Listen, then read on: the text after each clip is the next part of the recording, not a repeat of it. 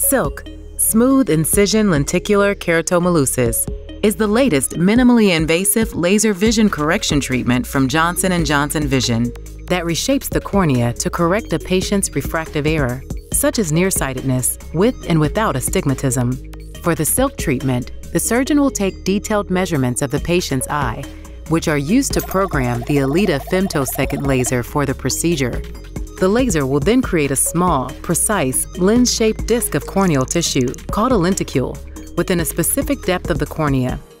Before the treatment, the patient's eye is numbed with eye drops.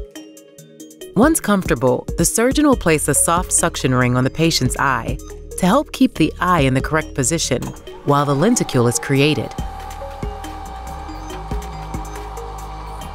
First, the Elita laser uses tiny, ultra-precise pulses of laser light to create the lower interface of the intrastromal lenticule by moving a raster scan line in a radial pattern.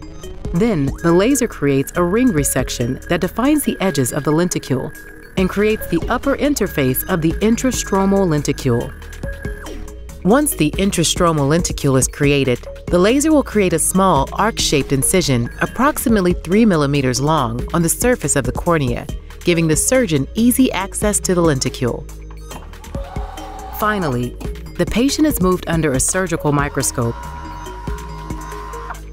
where the surgeon will gently confirm the lenticule separation and then remove the lenticule from the cornea with a special instrument.